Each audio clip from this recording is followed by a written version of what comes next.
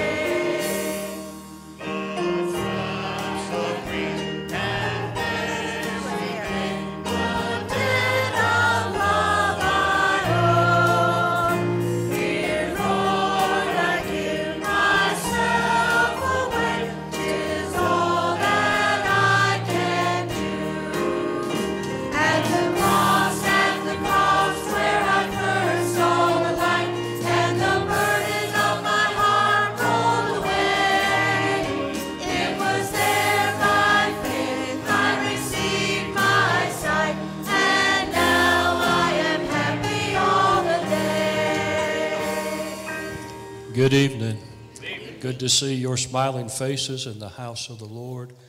And I hope you're as excited as uh, I am to be here and to see what God's got in store for us. And we are just as privileged as we possibly could be to have Pastor Damon with us. And uh, uh, if he preaches half as good as he's been eating since he's been here, boy, we'll have a humdinger tonight. I can't keep up with him, and that's saying something. Glad you're here. Hope and pray that God will bless you in a great and mighty way uh, while you are here.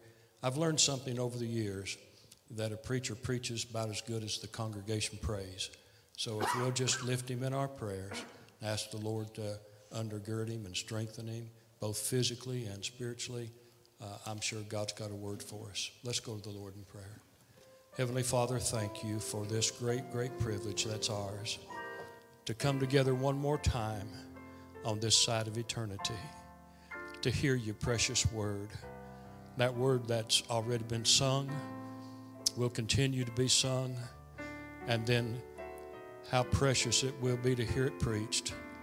And I pray, Father, that you'll take, take your messenger, hide him behind the cross, give him the words, give him the strength.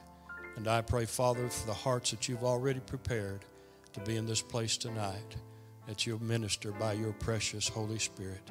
In the precious name of Jesus. Amen.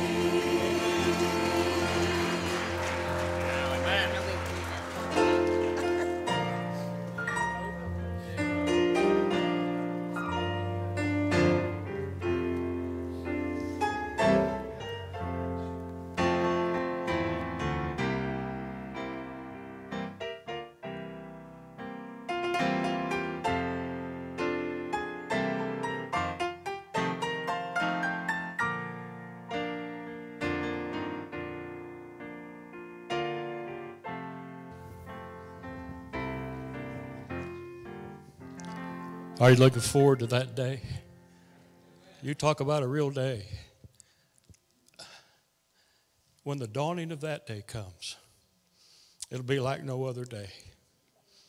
We may start out going to jobs, going to school, doing whatever we typically do.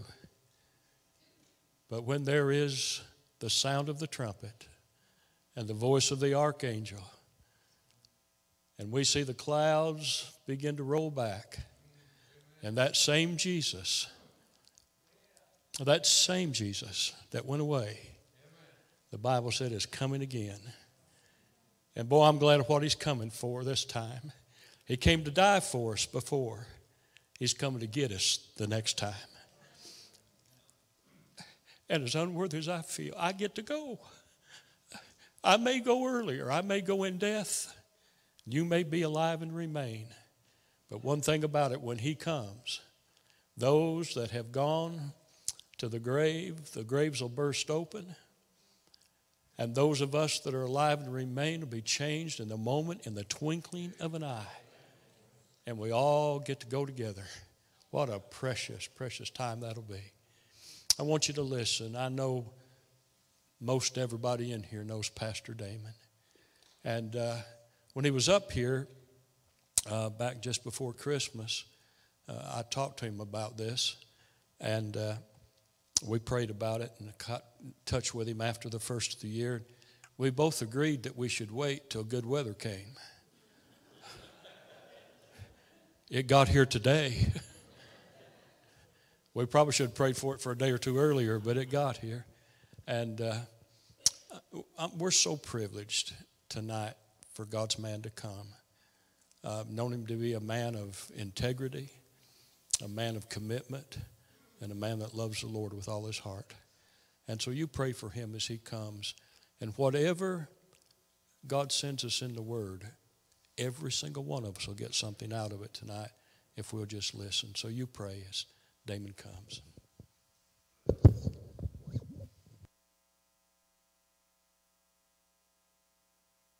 You could have carried on. Thank you for coming. You didn't have to come, but I'm glad you did. You, uh, a little Methodist church called a bishop to come to preach for them, but the crowd was real thin, just a few people there. And he asked that young pastor, said, Did you tell these people I was coming? He said, No, sir, but the word must have got out anyway. So, so I'm all fixed up with two microphones, and I hope you can hear me. Pardon? Can you hear me? If you can hear me, oh yeah, everybody hear me. Okay, thank the Lord. Revival is an opportunity because it's a tremendous privilege that God gives us. Stephen Olford says that revival is an invasion from heaven with a wonderful opportunity that's given to us. And I'm so grateful for that. You know, when Ronald Reagan was being sworn in as President of the United States, when he took that oath, his left hand was on his mother's Bible, and it was open to the Second Chronicles 7:14. If my people, which are called by my name, shall humble themselves and pray and repent of their sin, uh, turn from their wicked ways and repent of their sins, then I will hear from heaven, and I will forgive them their sins and heal their land. And in the margin of that Bible, his mother had written, This is the most wonderful verse for the healing of nations. And I think that it's a tremendous opportunity for us to, to think about revival. I believe we need healing. When we think about this nation of ours, only 6% of the population of the world reside here. We just have 6% of the world population. And yet, 80% of all the divorces happen here. 80% of all the whiskey that's drunk in the world is drunk here. And we outpace all of the other industrial nations in murders, rape, and major crimes here in the United States. And yet, not long ago, a few years ago now, we turned our back and allowed the God, the Bible, and prayer to be systematically dis- taken out of our church, out of our schools, out of a public forum, and replaced with atheistic secularism. Our nation is now atheistic instead of Christian. We need revival, a revival that only God could give. I have, have a piece of paper that I want to read something to you. One of our citizens, a very prominent person, said, We have been the recipients of the choicest bounties of heaven. We have been preserved these many years in peace and prosperity. We have grown in numbers, wealth, and power as no other nation has ever grown. But we have forgotten God. We have forgotten the gracious hand which preserved us in peace and multiplied and enriched and strengthened us, and we have vainly imagined in our deceitfulness of our hearts that all these blessings were produced by some superior wisdom and virtue of our own. Intoxicated with unbroken success, we have become too self sufficient to feel the necessity of redeeming and preserving grace, too proud to pray to God that made us. His name was Abraham Lincoln. That was 1863. Wonder if he could see us now, what he would think. You and I need to be thinking about it. this Second Chronicles 7:14, if my people which are called by my name will humble themselves and pray and seek my face and turn from their wicked ways, then will I hear from heaven, and I will forgive their sins and heal their land. That's from Solomon was building the temple. Seven years he was building that great temple that his dad David wanted to build, and God wouldn't let him. Seven years, and then on the completion of it, he prayed a prayer Oh God, if, my, if your people sin, if they have, are overset with all kinds of famine, with all kinds of difficulties, will you hear their prayer if they turn toward this place and if they pray? and in the 12th verse of that chapter it says, And the Lord appeared to Solomon by night and said unto him, I have heard thy prayer and have chosen this place to myself for a house of sacrifice. If I shut up the heavens, that there be no rain, if I, con- if I command the locusts to devour the land, or if I send pestilence among my people, if my people, which are called by my name, God was saying, it's altogether possible that I'll bring all of these difficulties that you think about, all that you've mentioned in your prayer. It's altogether possible. I'm warning you of that. But I also want you to know that if my people, which are called by my name, will do some things, then I will do some things. Two things to notice in that. First of all, he says, if my people, the my people, and he wasn't talking just to Israel, he's talking to us as well. If my people, which are called by my name, that doesn't mean that he says if all of the politicians would get right, if all of the, the things that are going on that are wrong in the world will get straightened out. He's not saying that. He said the, the problem is with my people. We don't like all the things that are going on, but it's not, the, not the, up to them to change. Revival is for those who are saved, those who know the Lord Jesus Christ. Revival is to us, to me. And I pray that I can be revived by His Holy Spirit day by day. I'm so grateful for what He's allowed me. But the second thing that I notice, He says, if. That's the biggest two letter word in all the English language. If my people. That means there's a possibility that you will or won't. There's the po- potential of something great. There's a potential of God just doing exactly what He's promised, and the potential that He doesn't do it. If my people, which are called by my name, will do these things, then I want to do something. and He gives us four requirements. First of all, it says, if my people will humble themselves.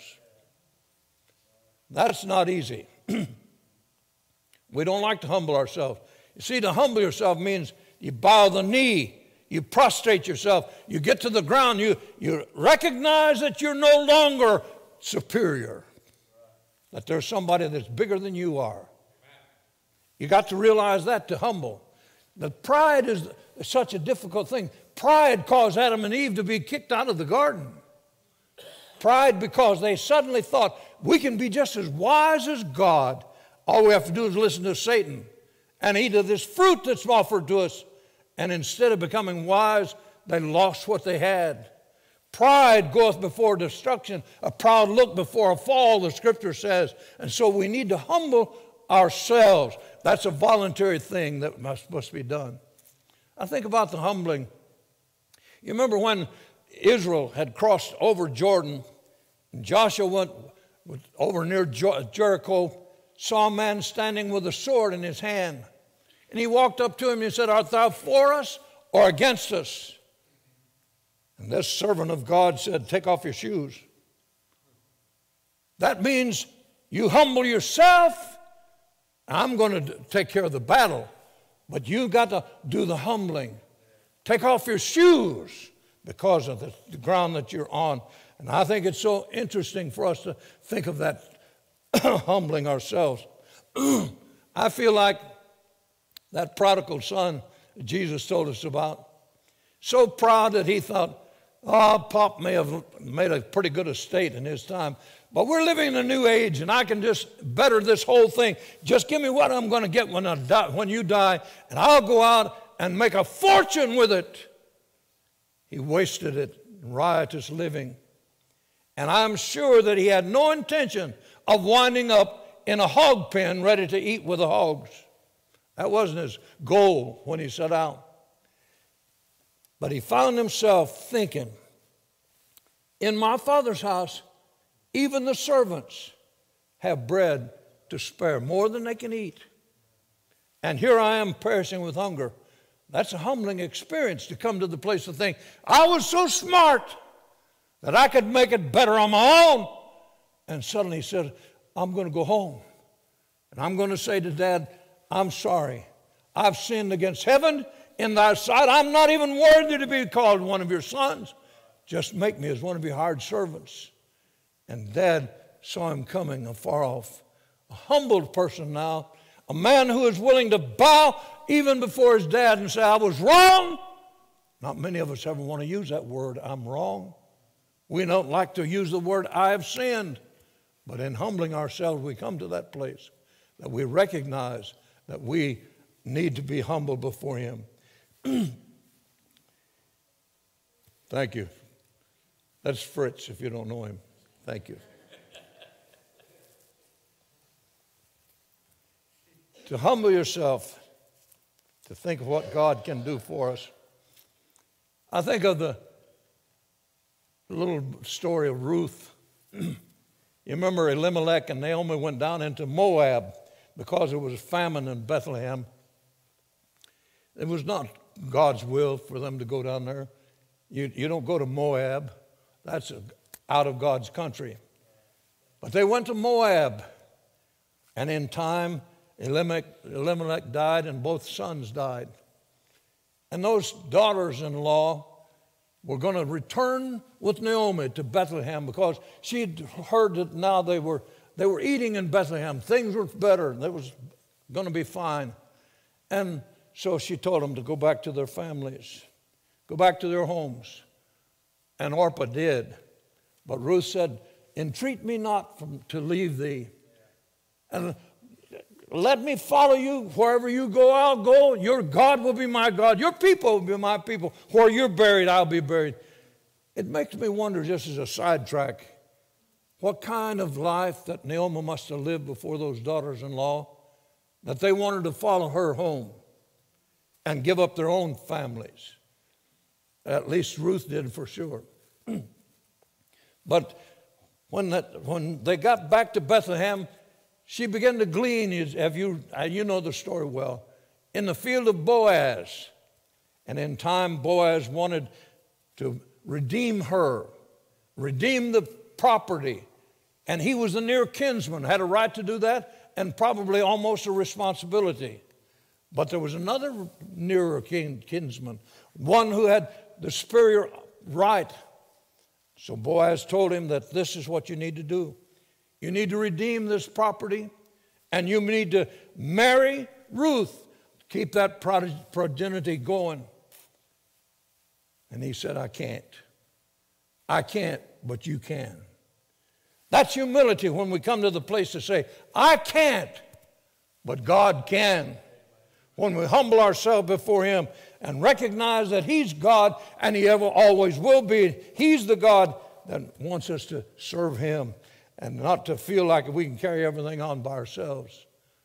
We've been a proud nation, and we've done a lot of things that we shouldn't have done, but we need to recognize that God says, I want you to humble yourselves. Secondly, pray. We talk about prayer. But praying is so essential, it's so important. Revival comes by agonizing, not by organizing. You could have called an outstanding preacher, you didn't, but you could have called somebody that was really outstanding to deliver the messages during these nights. You could have had the greatest music in the world, you had some good music. You could have had all kinds of organization. But revival doesn't come in the organization. Revival comes in agonizing with God for His Holy Spirit to move in our hearts and our lives, to do that which man cannot do, to do the impossible. And how wonderful it is when He does that. He wants us to do all of these things that He might yield that fruit of righteousness for us. We need to recognize prayer is so essential. And we sometimes think it's so, we're so feeble in our praying. Weak. I can't pray like you, somebody else maybe. The night that I prayed to, for the Lord to save me, I didn't know how to pray. and I still don't, as far as I'm concerned, but I know I can talk to Him. Maybe a weak prayer as far as others are concerned. But I read about a pastor by the name of John Ramsey. he had a habit, somebody provided him with a rose boutonniere. Every Sunday he wore, wore that rose and he was proud to wear it. One Sunday, however, there was a young boy, just a youngster, came up to him and very politely asked him if he could have his rose. And the pastor said, thought in his mind, he said, Well, I'm just going to throw it away anyway, no problem. But he said, What do you want this rose for? He said, I want to give it to my granny. Last year, my parents divorced. I went to live with my mother, and then she decided to get married again. She didn't need me sent me to live with my dad. My dad said he didn't have room for me, didn't want me, so I went to live with my granny. She loves me. She cooks for me. She provides for me in every way, and I want to give her that rose. By this time, the pastor's eyes were filled with tears, and he said, No, you can't have it. But you see those flowers on that altar table? Beautiful bouquet. You take that to your granny. She deserves more than just that little rose. And the boy said, What a wonderful day. I asked for one rose and I get a whole bouquet. I go to God and I ask Him for to save me by His grace, and He's given me 77 years of blessings, uh, plus the fact that I have eternity to look forward to. Ask for just a little bit, save me from my sins, and cause me to know that I've been forgiven of my, my sins. My prayer may not be worth much, but it was worth a lot to me. I learned to pray this early in this year. Almost 90 years, I'd never been in the hospital for any time except maybe a surgery in and out. never for sickness two weeks. And some of those nights, I wondered about that next breath. And there was a lot of those nights that I learned to, appreciate the 23rd Psalm so much. Yea, though I walk through the valley of the shadow of death, I'll fear no evil, for thou art with me. And to pray the prayer that, Lord, I know that whatever the results, I'm with you. What a marvelous thing it is to be able to pray and to know that in our hearts and lives. But then not only did he say for us to humble ourselves and pray, but then to seek my face. That's to seek to focus. A lot of our modern, modern churches, we do everything else except to seek God's face. We ought to come together to worship. Bless the Lord of my soul and forgetting all of his benefits. We come, we ought to just lift up praise to him. But we're trying to see how big we. We have a church in Knoxville that boasts it has the tallest steeple than anybody else's. That's great, isn't it? We ought to be worshiping God, praising Him for what He's done. Each morning as I get up, I like to thank Him that He let me live. It doesn't matter to me when He wants to take me, but if He let me live, I'm going to do my best to serve Him for another day. And we need to thank Him for that. But when we seek God's face, we need to seek that focus. Did You ever watch a little girl wanting something from her daddy and she climbs up in his lap and she's talking, but he's kind of not paying attention. She gets his, turns his face toward hers because she wants him to see her. Seek my face because I want that full attention. I want you to know who I am. And I want you to know my need, seeking God's face, that we might have His glorious presence among us day by day. And then He says something about purity, that we turn from our wicked ways. We allow ourselves to drift into sin, into those things that are contrary to the will of God, the things that doesn't, doesn't help our testimony at all. We allow things to, to pile up in our lives and we need to turn from those that we might be able to get back to Him in full repentance. Over in Psalms chapter 66, it says, If I regard iniquity in my heart, the Lord will not hear me. Over in Isaiah, the 59th chapter, Behold, the Lord's hand is not shortened that it cannot save, neither is it ear heavy that it will not hear. But your iniquities have separated between you and your God, and your sins have hid his face from you that he will not hear. God says it's our fault if he doesn't bless us. If my people, the if is con- conditional, and we need to remember that. How marvelous it is. but he says, not if, but if you do all of that, I will hear. Not a, no condition. I will hear. And I'm glad that he hears me.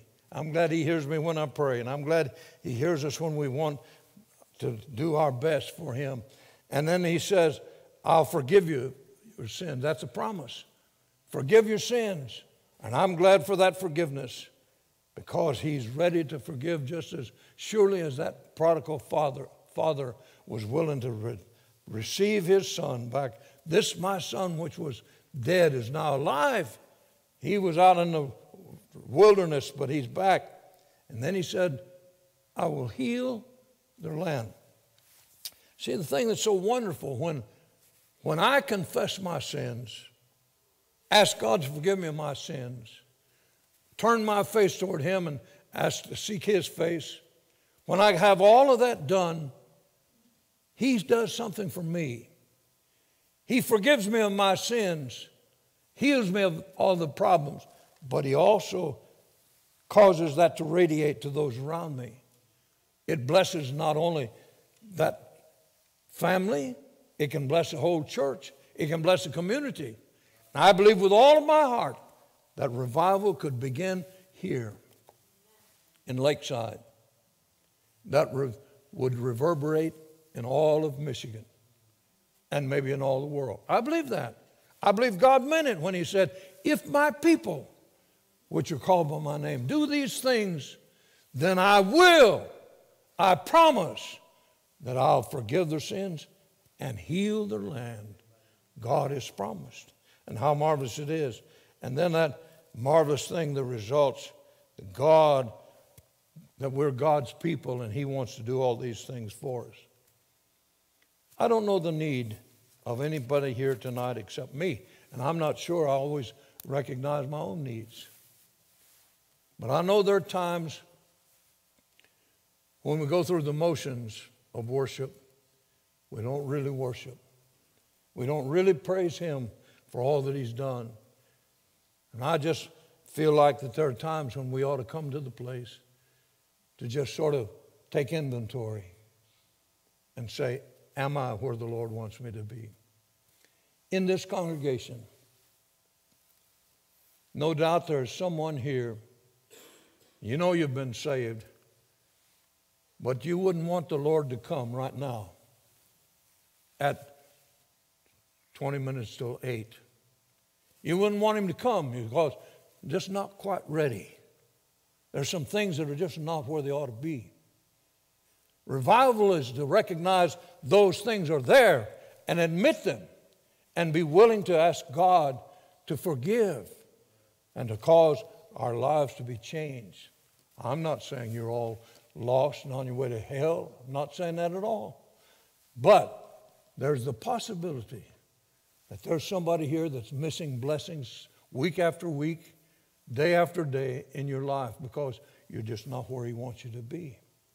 You think of all the blessings that a prodigal missed out, out in that hog pen. In his father's house was everything that he could have wanted. He knew about all that from experience.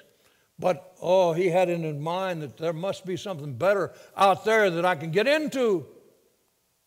And was really, when he got to the place to be ready to return home, then the father killed the fatted calf, got the robe and the ring, and said, Let's have a, a party. Because it's time to celebrate. How marvelous it is that we can celebrate. We, we sung, What a day that will be. What a wonderful day it's going to be when we can just be with Jesus forever and forever. But I don't want to take a lot of baggage with me, do you? I don't want him to say, wait a minute, what about those unconfessed sins? What about those things that you did that you shouldn't have done? Well, I don't know, Lord, I didn't do those. Tonight, I'm going to challenge us to make this the beginning of revival. That we'd come to the place to look at our own heart and ask ourselves the question Is God speaking to me? If my people, which are called by my name, will humble themselves and pray and seek my face and turn from their wicked way, then will I hear from heaven and I'll heal their land. Bow your heads, please. Every head bowed, every eye closed. Is there anyone in this congregation? We're going to have an invitation in a moment. But is there anyone in this congregation that you would be honest enough, be willing to confess enough to say, I'm that person. I know I've been saved, but I'm not where God would have me to be right now tonight. And you'd lift your hand and say, Pray for me. Any like that? Yes. Yes. Are there others? Yes. You can take them down. Others? Pray for me. Yes. Others? Not where God would have me to be. There may be people here that are lost, never been saved. And I would appeal to you as well. But tonight, I pray that we might begin as God's people to see the need of responding. In a moment, we're going to have a hymn of invitation. And when we do so, I trust that those of you who held up your hand will take another step. Come to this altar and let's pray together. We'll pray with you and do our best to help you in any way we can. Father, I pray just now for these who have been honest enough, bold enough to lift their hand. I'm not going to put any pressure on them, I'm not going to tip, trick them in any way. But I pray, Father, that you'll just help them to say, if revival depends upon me, I want to do my best tonight. Father, I pray that you'll just cause people to move in response to your invitation. In Jesus' name we pray. Amen. Would you stand? Will you come in response to the invitation? It's not from me, it's from God who says, Come unto me. Will you come tonight? come on. You that lifted your hand, would you come? Let's pray together.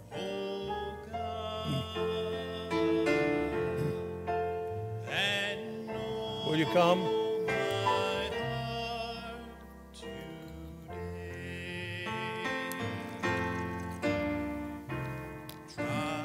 Amen. Amen. Will you come? Amen. Amen. Thank the Lord. God bless you. God bless you. You know you've been saved, ready to live for the Lord. God bless you. And there are others, others that'll come. God bless you. Any others?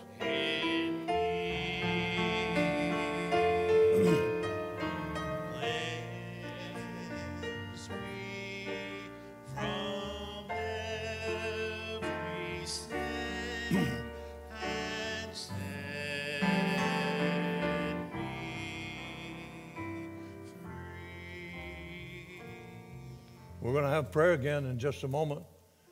Someone else might like to respond. Maybe you're here and you've never been saved. Be a marvelous time for you to give your heart to Jesus. Why should I? Because there's no way to get to heaven without it. You've got to be saved by God's grace. And He is bidding you to come. He loved you so much that He was willing to die on the cross for you. As we sing again, or if there are others who will come, please do. Come on.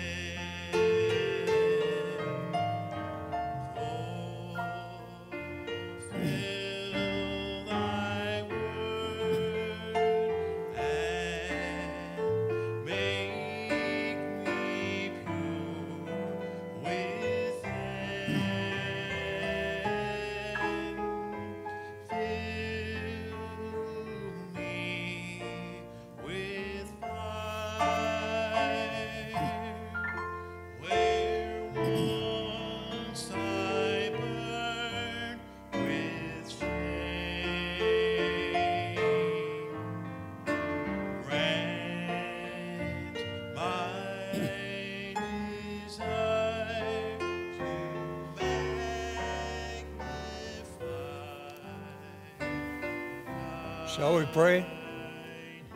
Father, we come to you in the interest of this, our brother, who honestly would confess that he needed to draw near to you. Father, help us, all of us, to lose that pride and that kind of self sufficiency and come to the place to say, Lord, not my will, but yours be done. I pray for him. I pray, Father, that you'll just strengthen him and cause him to know the power of your presence. Bless this meeting, Father, that it may be able to be seed sown for your honor and your glory. In Jesus' name, amen. Amen. God bless you. my Thank you, Reverend.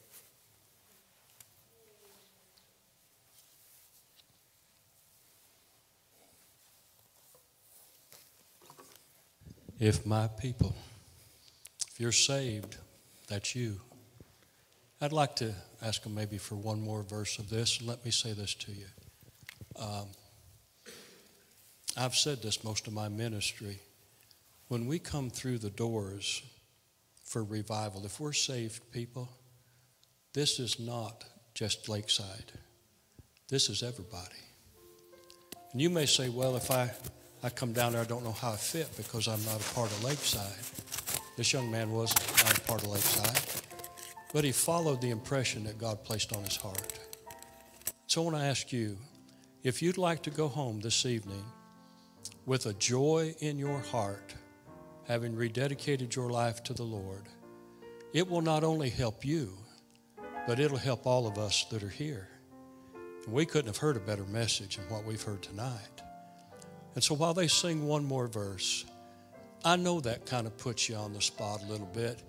And you'll think sometimes, what will all those people think? First of all, that really is not a consideration. Our consideration is what He thinks. And if He draws on your heart tonight to draw you closer to Him, all He's asking you to do is to say, Lord, thank you for saving me. And I do want to be just a little bit closer to my Master. Would you consider that? Would you consider coming tonight? Because not only, as I've already said, it will not only help you, it'll help all of us. While we sing one more verse. How about you? Take my Take my life, Lord, and make it wholly thine. make it wholly thine. That's really what God asks of each and every one of us. I gave my life for you.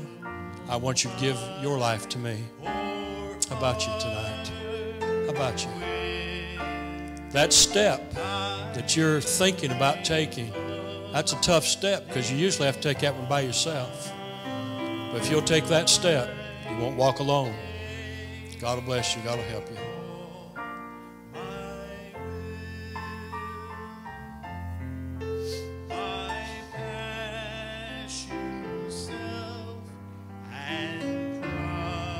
How about you?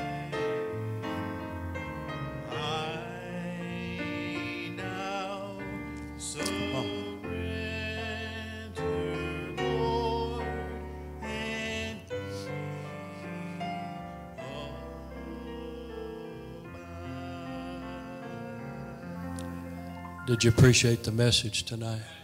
Good message. And uh, we got a good start. We need to build on this. So I want to encourage you to come back tomorrow night. Bring somebody with you. Pray for somebody you know that either needs to be saved or needs a closer walk with the Master. If you'll do that, God will bless you in your efforts of praying. If you'll contact them in some way and invite them to come, uh, God's working in, in precious ways. Uh, Damon and I were at the restaurant tonight, and uh, two friends came in, uh, Sandy and Kim, right? Did I get that right? And uh, they used to go to Monroe Church, and, and uh, they sat right across from us, and they recognized him. I thought, Lord, you're in the arrangements of this even while we're eating a meal. How precious that is. I'm, I'm glad God knows all about me, aren't you? Love you and appreciate you. Glad you're here tonight. Precious singing, precious preaching. And let's go from this place tonight, determined in our hearts to return tomorrow night at 7 o'clock and not let Satan beat us out of a good blessing. Amen. God bless you. You're at liberty to go.